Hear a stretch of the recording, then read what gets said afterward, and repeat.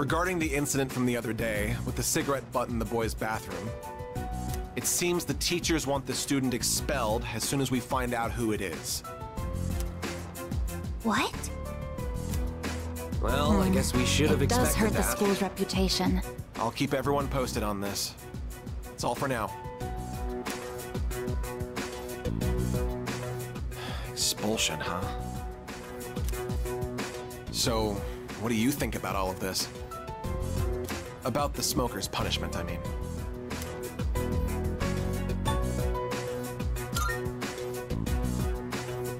Yes, I think so too. Once I catch the culprit, I'll give him a good talking to. The goal here should be to prevent this from happening again. I'm not counting on it, but it'd be great if I could get people like him to change their ways. I don't sympathize with students who break the rules, but does kicking the bad kids out really make the school a better place? It's really not like me to whine about it. I guess I'm just confused because I feel so powerless. If I can go above and beyond this time and earn the teacher's trust, my ward will hold more weight around here. Just you watch. I'll work my way to the top.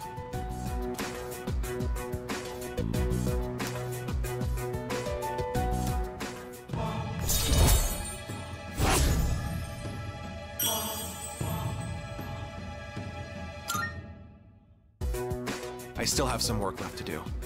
I need to compile a list of suspects. You can head on out of here. And take care.